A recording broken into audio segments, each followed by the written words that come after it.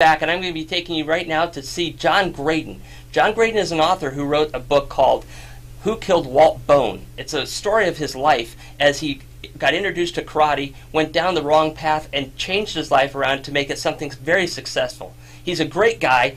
Really enjoyed talking to him, and I know you're going to like his book. And hopefully, if you have a child that is kind of going down the same path, his story will help you recognize the signs to stop your child from going down that same path. Let's go talk to uh, let's go talk to John Graden right now. Hey everybody, I'm here with John Graden, and we are he is the author of Who Killed Walt Bone, and we're going to be talking about his life and the story that he has written. Welcome to the show. How are you doing Thank today? You. Thanks for being here. So tell me a little bit about your history and your book. I like many kids in the early 1970s, the kung fu boom hit. It was huge. The biggest films in the theaters were the Bruce Lee kung fu films. Right. The biggest show on TV was the kung fu television show with Kwai Chang Caine. And on, even on radio, the, the, you turn on the radio and it'd be kung fu fighting would be the song. So this whole kung fu thing hit so big and strong. And I was a shy, chubby, thirteen-year-old. Uh, I, I like to say that I was uh, I was the victim of bullies, braces, and really bad clothes, which was indicative of the, the 1970s. If there was ever a decade for ugly, the 70s was it. It was. Right. I mean, I looked like the, the, the an Osmond groupie. It was just awful. so, in in order for me to try and gain some some some confidence and some control in my life, you know, I'm, my father was in the military, and he raised us eh, to love America and he raised us on John Wayne, Charles Bronson, Clint Eastwood, men who were men. You know, as a manly man. That was a big deal. And there was this sense of fair fighting. You know, you don't kick a man in the groin. You never hit a man when he's down because it's easier to kick him. But we went to this theater when I was 13, the Largo Theater, and it was the Five Fingers of Death. It was a terrible film, but it was the first of these Chinese kung fu films. And these guys weren't big, strapping John Waynes. They were little dudes, little guys. And they would fly through the air and break every rule of fighting we were ever raised on. They didn't just kick a guy in the groin, they ripped his nuts out. They didn't just kick a man when he's down, they stomped him into a, a grave. we sat there a slack-jawed. And I was just blown away. I had to have that. I wanted to do that. So the following week, I started calling local karate schools. And lo and behold, we went to a local school called the Florida Karate Academy that was owned, and the instructor was Walt Bone, and he uh, he got us excited and got me really immersed deeply into the martial arts lifestyle. So that's how the introduction and early days of martial arts were for me. What type of martial arts was it? Taekwondo. You may have heard of Taekwondo, but this is Taekwondo. In other words, it was from Texas, which means it was rough. It was what they call blood and guts. So they were far more aggressive and fighting oriented than the original Asian Taekwondo style that uh, it, it emanated from.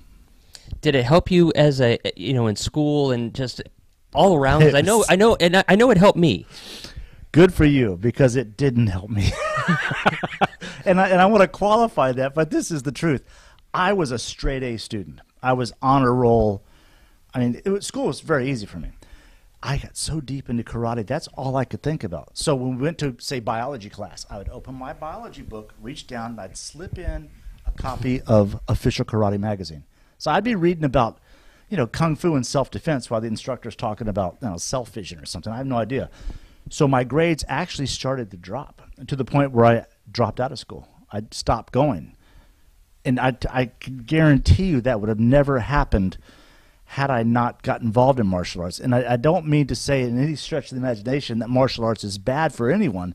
It's a great training, it's great exposure, it's, it's, it's a great process for kids. In my case, it was really the reverse. It was almost like bizarro world. And that's partially why I wrote the book, because I, I, I think a, a good parent's nightmare is that all the hard work that they put into raising their child to be law abiding, honest, respectful, all that work goes out the window when that kid becomes a teenager and finds someone or something they think is cooler. And that's what happened to me. I thought my karate instructors walked on water. They they were just the coolest guys I'd ever seen in my life. Holy cow. They were athletic, they were deadly, they could kill you with one blow. At least in the movies they could. and they were very healthy. They would eat right. They talked about uh, eating healthy. Don't eat sugar. Don't eat salt. And they trained, and they trained hard, and they were honest. They were good. They were honorable. And I really immersed myself into that. And then one fateful Friday afternoon, I was with um, a bunch of the brown belts, and we were training. I was 15 years old. I was a brown belt, and a real good one. And when the workout finished, the guy said, "Okay, let's party." I said, "What do you mean?" And it was like when you know, the, the, parents leave the house and leave the teens at the house, the atmosphere changed, the vibe changed. The vibe changed big time. I felt it, and I was really uncomfortable. And I remember my first karate class, Mr. Bones saying in front of the class, Don't ever come to my class drunk. Don't ever come to my class stoned. This is, again, early 70s. So these guys broke out the bongs and the pot and, and the beer. And oh, oh man, what, Mr. Bone doesn't. He said never come to the karate school stoned or, or drunk. And they started laughing. He said, John, you're so dumb. He said never come to the karate class drunk. He comes stoned all the time. It was like if you can imagine psychologically somebody pulling a trap door and you're just you go straight down to a dark place that's what happened.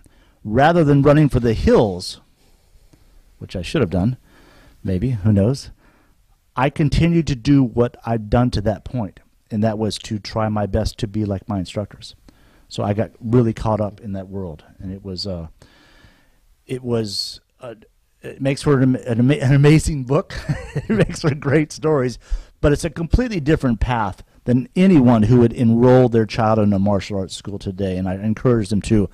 But the message I want to get is make sure you check out and monitor and be aware of the influences, whether it's people or things or music or genres or, or, or cultures that are influencing your teens. You just can't take it for granted. It's not that you don't trust your teen, don't trust the world around them. That's the key point to the book.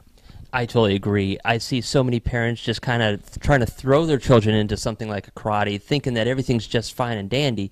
But there are some bad people in those schools, just like there's bad people in regular schools, and they can take you down paths that you shouldn't be doing because you think that they're cool or you think that they're, you know, Im- influential in in. Uh, just to you as as yourself and you know i've seen that happen to a lot of people i think it is important for parents to to really embrace what their children are doing and just kind of monitor it. They don't have to like spy on them every two minutes and be a helicopter parent, but just keep an eye out.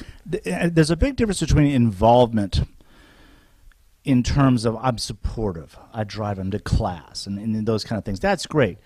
But you really want to have a clear understanding of what's going on behind the, the, the, the closed doors. And I, I was doing an interview recently, and, and the guy said, Well, you know, it was early 70s. A lot of people were partying those days. And I said, Okay imagine that your child was really good at biology.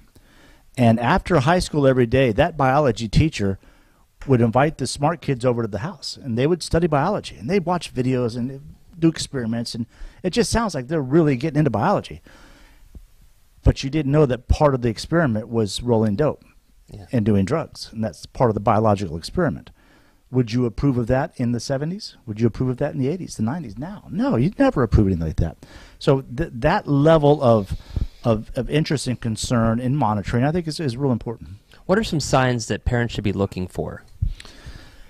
A radical change in respect and, and behavior. And this is a, indicative of today's world. Today, parents work hard to become friends with their kids.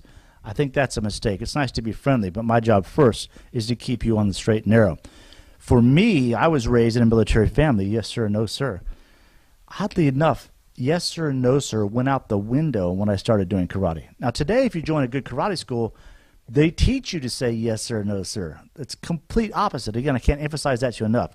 Martial arts schools today are great with kids. This was the early 70s. There weren't many kids. So, a radical change in behavior and also eh, watch the crowd they're hanging out with. That is really important. I went from a group of guys that were cars stealing cars, drinking booze, doing drugs. You know, those, when those guys pull up in their van to take your 16 year old out, that's a pretty good red signal. You know, I would think so. McFly. yeah. It's like the guy with a with the motorcycle coming up to date your daughter. He gets out. He's got that you know spiked hairstyle and stuff like that. I'm yeah. telling you what, you know, you guys are going to enjoy this evening sitting on our couch watching TV. So if you're a parent and you start to see your your child's behavior changing, what's what should you do? What what's one of the things that you can do to either monitor it without you know just looking like you're spying on them and getting them upset, or do you just jump in full blown and try to and try to uh, take care of it right then and there? I would not uh, pro- uh, present myself as an expert, as a parenting expert by any stretch. I have kids. I love them. I think we're doing a great job with them. There, there is a couple strategies, and I think the best is is a, the martial arts principle of align and redirect, align and redirect, and that is getting more involved, but being aware when you're coming to those forks in the road to help them understand the decision making process. That's what I didn't have. It was never explained to me the consequences of going down this road. It was never explained to me this is illegal activity. This is jail. I know you see jail on TV and it looks kind of cool. No, this is real jail. And and if you continue to do this, that's what's going to happen. And what happened with my instructors is that some of them went to prison, some of them died in the process of smuggling drugs. This is not Mr. Miyagi. This is far more Walter White from Breaking Bad, and that's the subtitle of the book. It's uh, "Who Killed Walt Bone." Breaking Bad meets the Karate Kid, and that's exactly what happened. So describe your book a little bit more in detail. What can people expect to see out of this book? The reviews that I've been getting is that it's a great read. I'm not trying to sell the book. It's just that it's a lot of great stories. Some of the stories are exciting. They're adventurous. There literally is drugs, perverted sex, um, murder, prison, and some great classroom fight scenes. I mean, it, it, it reads like a an action movie because it really was an action period of time. If you do, if you take the Karate Kid and mix it in with with Breaking Bad, and then some other films. Some of you may be familiar with the film Dazed and Confused. Mm-hmm. Dazed and Confused was based upon 1976 graduation night or prom night, I think, and they were all my age. They listened to Yes and Led Zeppelin and Getting Stone, which is exactly what we were doing in those days. So that that kind of mashup would be a good description of the book. And where can people find the book? Amazon.com. It is right now a paper book. a paper book, yeah, it's a paperback book. Uh, it's also Kindle, and soon it will be an Audible book. So it'll be. Uh, I'll read it to you. And do you have any other things in the works, maybe for like a sequel or anything? I have two sequels in mind that are uh, under development, and I continually write books and coach people on writing their own books and help people get their idea to fruition. People can find that out at uh, johngraden.com. That's where I'm at. And what do you want them to take away from your book when they're done reading it, or hope Hopefully, a big away? smile. I hope that I ruin their night by keeping them up all night. That's that's that's my goal. Start at ten. Look over. It's four a.m. I'm still. I'm just now finishing this guy's book. That's the effect that I want. I want them jo- to enjoy it, and the underlying message, because you, it's certainly not one that it, I, I beat people over the head with in the book, is that that two things. One, be aware of what your kids are doing. And then if, if i've got teens and young people reading it understand the power and this is really important and it, it took me a long time to realize this to replace me myself and i with the father the son the holy ghost. That's powerful. And had i been introduced to those powerful principles at that time think about it. I was i immediately immersed myself into this karate stuff had I been taught about the best teacher in history, bar none, I would have immersed myself in that. The combination would have been beautiful, fantastic, wonderful. I didn't get that other side until much later in life. So I would encourage somebody or anybody who's in, uh, reading the book to read it with that in mind. And most importantly, it, you did straighten yourself out and get yourself on the right and narrow, right? I did go on to have many successful businesses and win world championships. Well, fantastic. Thank you for coming on and sharing your book with us and sharing your experiences with it. And I hope people learn from this book when they read it as well. Thanks for having me.